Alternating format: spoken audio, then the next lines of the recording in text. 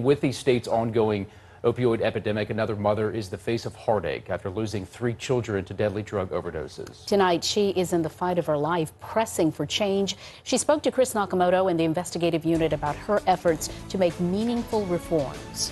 Sylvia Michael, Pam Rivas has experienced loss that no parent should ever have to go through. Three of her children dead from drugs, two from fentanyl overdoses. Tonight, she's pressing for laws to change and begging leaders at the state and local levels to do something.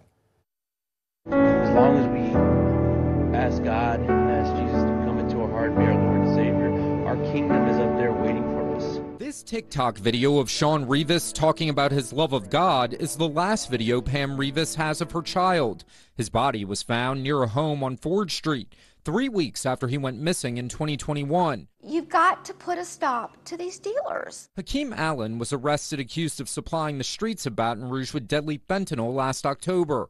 The investigation began after Sean Rivas's death. According to the East Baton Rouge Parish Sheriff's Office, the small neighborhood church on Page Street was also a hot spot for dealing dangerous drugs like fentanyl.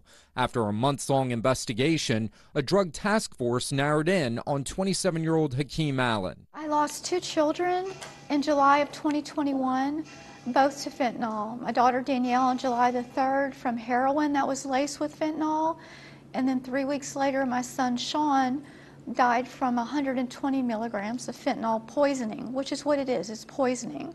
This is Sean Rivas, who died from fentanyl. This is her daughter Danielle, who also died from fentanyl.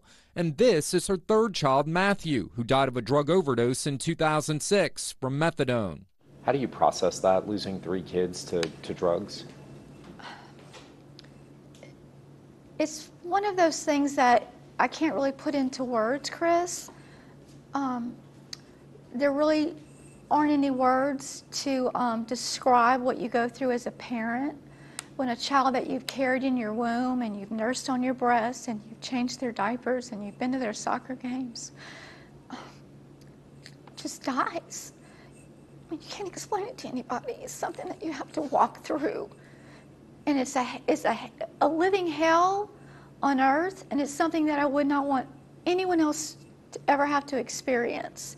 Rivas is now focusing her energy to reform efforts, hoping that her story will save other people's lives. I've taken my, my, my loss, my pain, and my anger, and I've channeled it into trying to make a difference in my community, to try to stop this from happening to other people. Last year, 100,000 people died of a fentanyl overdose in America. Baton Rouge had 291 deaths. It's murder at the hands of these dealers. At the end of February, the parish was up to 39 deaths, with many more pending toxicology tests. Rivas's push for reform has her meeting with lawmakers at the Capitol in hopes of stiffening penalties. He would buy prescription pain medicine off the street. And comes after East Baton Rouge sheriff's detectives arrested a suspected prolific drug dealer who's accused of supplying the streets with fentanyl. When Frank Beecham was arrested last month, he was already out on two other bonds accused of doing the same thing.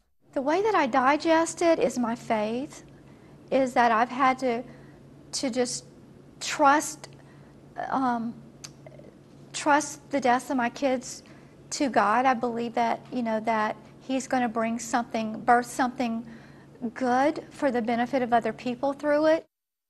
This upcoming session, law enforcement and other stakeholders are hoping to champion some legislation creating stiffer penalties for those distributing fentanyl on our streets.